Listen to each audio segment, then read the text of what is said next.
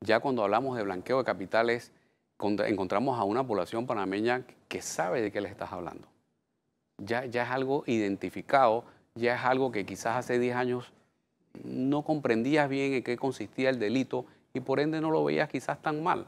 Ya incluso lo, lo defines, lo identificas y conoces las consecuencias. Las consecuencias para un país penetrado por la lucha de blanqueo, por el blanqueo de capitales son graves.